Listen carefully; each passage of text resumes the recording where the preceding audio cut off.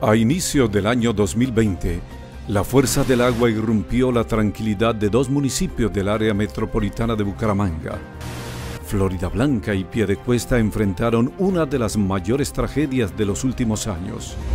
Este año, en el 2020, lamentablemente iniciamos con dos sucesos bastante terribles que afectaron nuestra área de jurisdicción. El primero de ellos fue el 28 de enero en el municipio de Florida por el desbordamiento del río Frío, donde hubo una afectación a más de 130 familias en un sector bastante considerable de este bello municipio, en donde hubo pérdidas eh, económicas, hubo afectaciones a viviendas.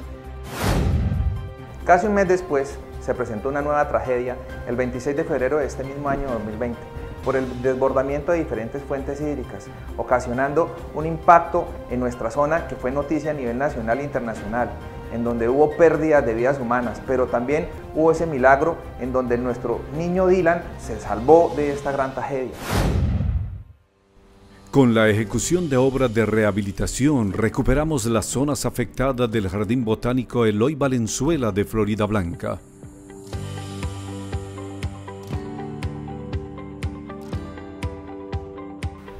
Estas intervenciones que tuvieron como objeto la rehabilitación y reconstrucción del jardín botánico tuvieron una inversión de 1.520 millones de pesos.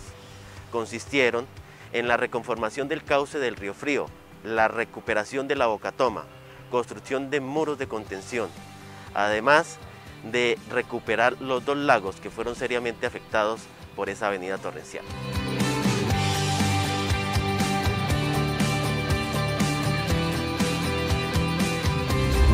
En Piedecuesta intervinimos en siete puntos críticos para mitigar el riesgo de futuras afectaciones por las fuertes lluvias que pueden volver a presentarse.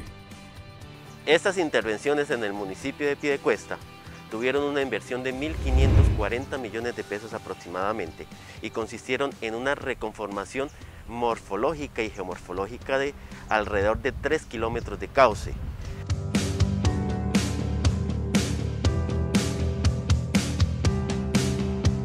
Demostramos que con la ejecución de estas obras y la intervención que se hizo de manera oportuna, garantizamos la tranquilidad de cientos de ciudadanos.